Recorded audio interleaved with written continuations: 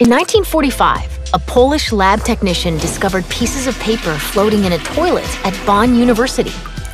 Little did he know, the discovery would trigger one of the most controversial intelligence initiatives in United States history.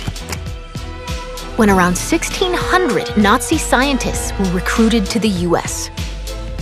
Those pieces of paper were fragments of the Osenberg List, a roll call of Nazi Germany's top scientists, rocketeers, and engineers.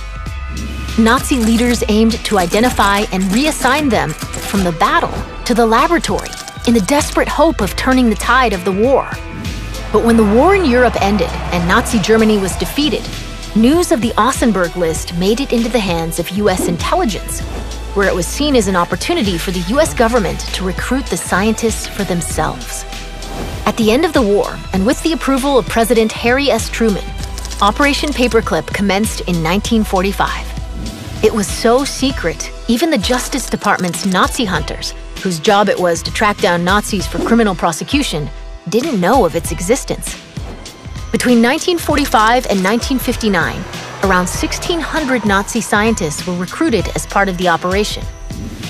Many had previously served as high ranking Nazi officials, including infamous aerospace engineer Wernher von Braun, creator of the Third Reich's deadly V 2 rockets, weapons used to bomb London, England during the war.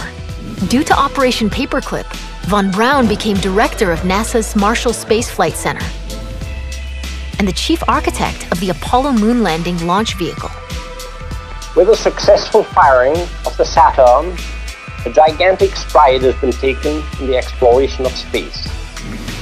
Specialists in chemistry, physics, and electronic engineering were also hired.